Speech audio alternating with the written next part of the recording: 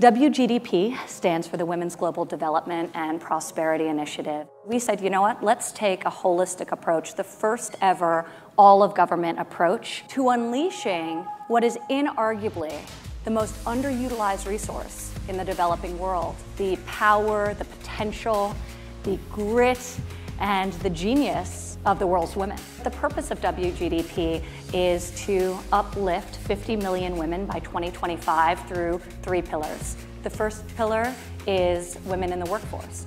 So this is vocational education, it's job training. The second pillar involves entrepreneurship.